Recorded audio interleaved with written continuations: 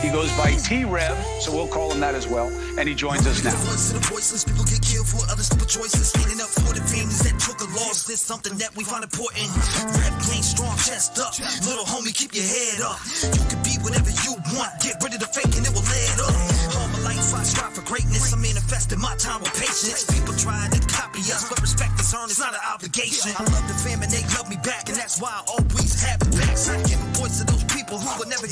for them slimy cats. When you come here, you ain't a number to me. I really take time to read what I see.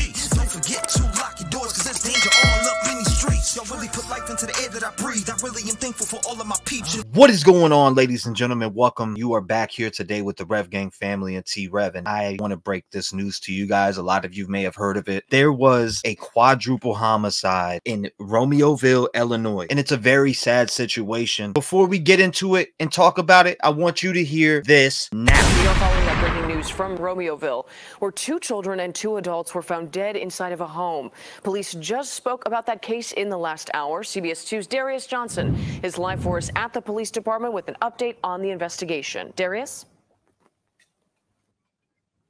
Good morning, Marie. I can tell you these are gut wrenching details that we're just getting in from the Romeoville Police Department. I can tell you that we now know that two adults and two children are dead. Those two adults have been identified as Roberto Rolone and Zoraida Bartolome. Their ages have not yet been released, along with the genders, names, or ages of the two children who were also found dead inside that home. In addition to those four, police also say three dogs were shot to death.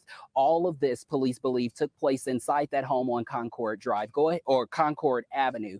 Take a look at some of that video that we've been able to gather. Romeoville police first arrived at that home around 8:45 Sunday night for a well-being check.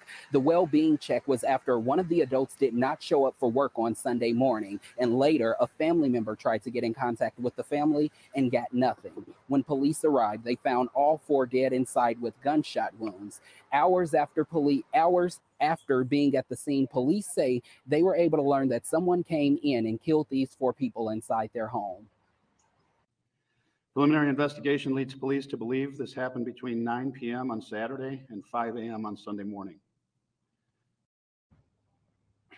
While at the home on Concord Avenue, we witnessed crime scene technicians going in and out of the home taking photos. There were also several brown and pink bags removed from the home, along with other random items like what appeared to be a TV or a computer screen, and also a screen of a window. Sadly, we also saw those three dogs being removed from the home in body bags. Back out here live right now, Romeoville police tell me that there is no ongoing threat due to the amount of time that has passed since they believe all of this happened sometime between Saturday night and Sunday morning, but they have yet to locate a shooter. They also wouldn't provide any details if it appeared to be a break in or if these victims were possibly shot while sleeping. However, they are still asking people right here in the community to reach out to Romeoville police if they have any additional information. You know, this is giving me flashbacks to the Idaho 4 quadruple homicide of Madison Mogen, Kaylee Goncalves, Ethan Chapin, and Xander Kernodle. And the reason why I say that is because they're saying there's no ongoing threat to the community. Ladies and gentlemen, I mean, there is an ongoing threat. There is a guy or whoever this was, I can't say guy, guy, female, whoever, you know, committed out these homicides. They are still on the loose. It seems like they were collecting different things from the scene. Now, I have taken some notes and we are going to get into those notes. So, exclusive couple Alberto Rolone and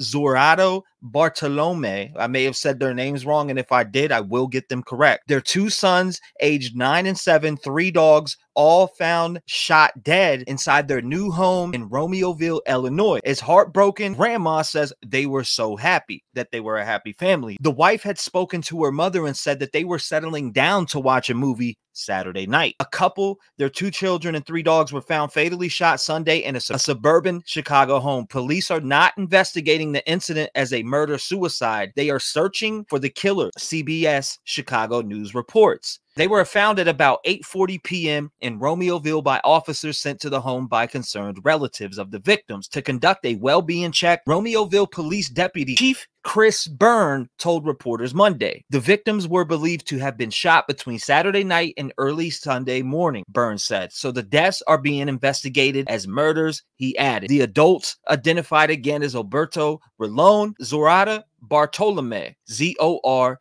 A I D A, and B a R T O L O M E I H. The names and the ages of their children were not immediately released. So it says a member of the family did not show up to work at 6 a.m. Sunday and did not respond to phone calls throughout the day, Burns said. Family members became concerned. While at the home, crime scene technicians were in and out of the home taking photos, and several brown and pink bags were removed from the home, CBS Chicago reported. A computer screen and part of a window was taken from the scene. Police have not released any details on a possible suspect. Neighbors told CBS and multiple other media media platforms that the Chicago victims just moved in a couple months ago. They were also a mystery to their neighbors who said they kept to themselves and were only briefly seen outside. And and this is people around there. Carol Love says it's kind of unsettling for the block that they live on. Now, Love lives next door. She was home during the shootings, but she says, like many of people on the block, they did not hear a peep. Despite living only a few feet away, none of the neighbors really knew, and the officers couldn't, of course, tell us that at the point. But Love said, We hear the gunshots from the shooting range two miles away. We can hear those nonstop, said another neighbor, but not this. No. Neighbor Lynn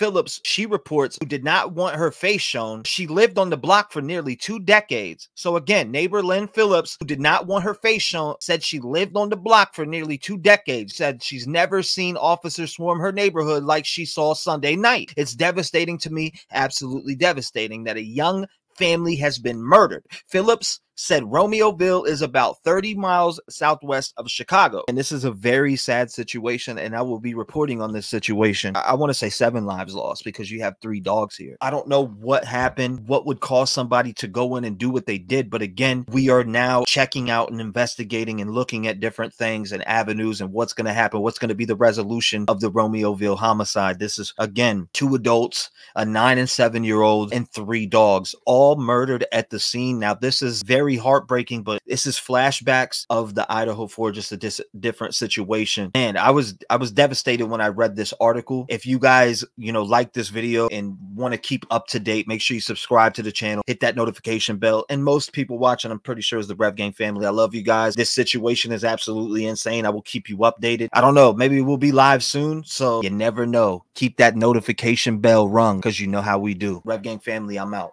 Day I wake up, it's another person that's dead in YouTube has to solve it cause the law is feeling kids.